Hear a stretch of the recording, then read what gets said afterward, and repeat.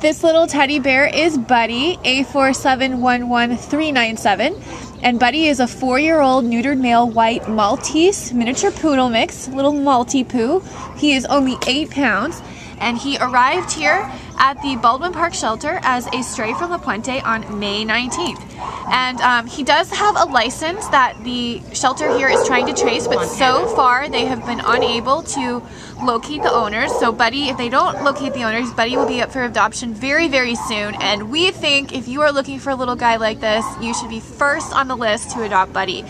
He is a sweet boy. He's got a fairly calm energy level, or a calm, you know, kind of demeanor, and probably a medium energy level overall. He walks really well on a leash, he'll be a great little walking companion.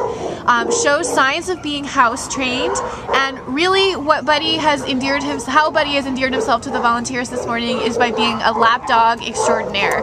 He is just a total affectionate and endearing companion who happy to go on walks, but also very happy to sit in your lap. He's good and polite around other dogs.